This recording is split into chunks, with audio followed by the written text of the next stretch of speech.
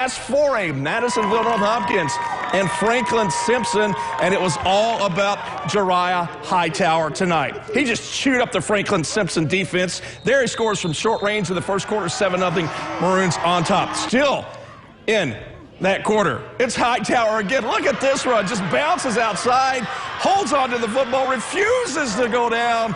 That sets up the Maroons offense. It's, yeah, you guessed it, Hightower again. Same drive, second quarter. He's in for the touchdown. It's a 14 to 7 Madisonville lead. Let's just keep going to the big guy. Hightower again, chewing up the yards, like I said. Another big run right here, and that would set up another Madisonville touchdown. Get this Hightower had scores on the evening tonight, and the Maroons win 45 to 31, so they are off to the Kentucky semi-state. All right.